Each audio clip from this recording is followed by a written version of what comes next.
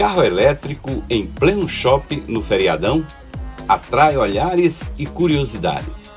Esse daqui é da BID, a gigante chinesa que vai instalar uma revenda na Paraíba em junho. Por enquanto, as vendas são feitas numa concessionária que fica na estrada de Cabedelo, mas a exposição já faz parte de uma estratégia para conquistar mercado. Em março deste ano, a comercialização de veículos elétricos e híbridos no Brasil aumentou 55,5% em comparação ao mesmo mês do ano passado.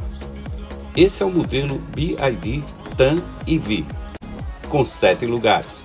A versão mais top. É o 100% elétrico, ele está custando R$ 529,990. Tem ele na versão híbrida também, que está a partir de 275. O carro é um luxo, painel em LED, comandado por um multimídia de 15,6 polegadas com rotação elétrica flutuante. São 31 cores em todo o interior.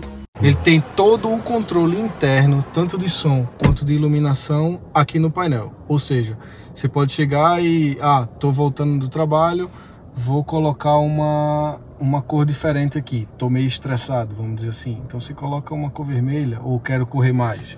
Então toda a cor do carro você consegue, você consegue mudar aqui.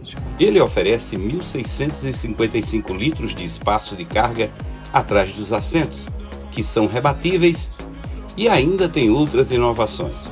A autonomia dele é de 437, ele tem bateria regenerável, é, não em 100%. Ele tem uma certa quantidade em que permite que você tenha essa autonomia.